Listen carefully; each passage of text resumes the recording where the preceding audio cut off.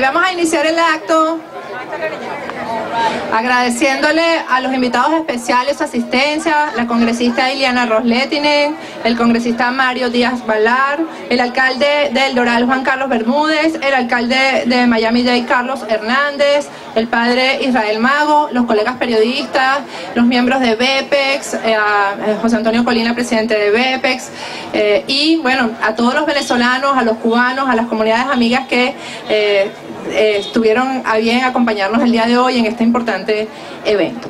Vamos a comenzar con el himno de los Estados Unidos de Norteamérica, interpretado por Samira Zambrano, estudiante de la Academia de Canto Mayre Martínez. Oh, say, can you see by the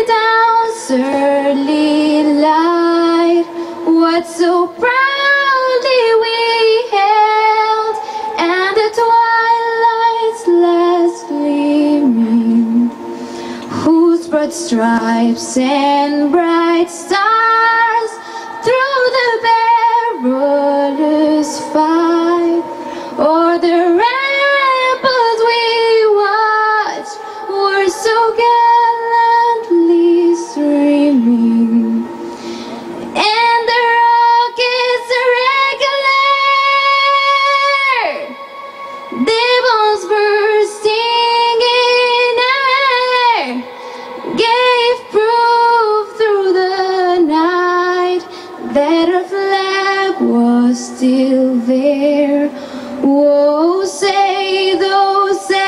star-spangled banner.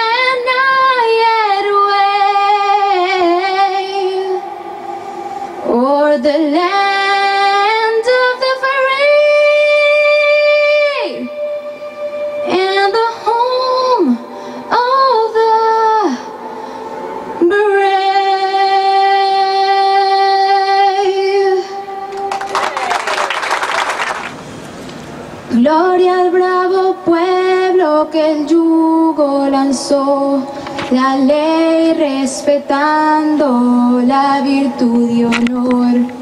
Gloria al bravo pueblo que el yugo lanzó, la ley respetando la virtud y honor. Abajo cadenas, abajo cadenas, gritaba el Señor, gritaba el Señor. Y el pobre en su choza libertad pidió. A este santo nombre tembló de pavor el vil egoísmo que otra vez triunfó. A este santo nombre, a este santo nombre, tembló de pavor el vil egoísmo que otra vez triunfó. El vil egoísmo que otra vez triunfó. Gloria al bravo pueblo que el yugo lanzó, la ley respetando la virtud y honor. Gloria al bravo pueblo que el yugo lanzó, la ley respetando la virtud y honor. La noche del miércoles pasado nos sorprendió con una noticia que entristece al exilio cubano y por ende también al exilio venezolano. La muerte de Monseñor Agustín Román, líder espiritual del exilio cubano. La iglesia perdió a un gran evangelizador. El pueblo cubano perdió a un verdadero patriota. Pero con su vida, con su ejemplo, Monseñor Román nos mostró el gran camino. Mientras haya fe, habrá esperanza de lograr que se haga justicia. Vamos a ponernos de pie y hagamos un minuto de silencio para honrar la memoria de este evangelizador obligado al exilio por la tiranía castrista por defender su fe. Comienza el minuto de silencio.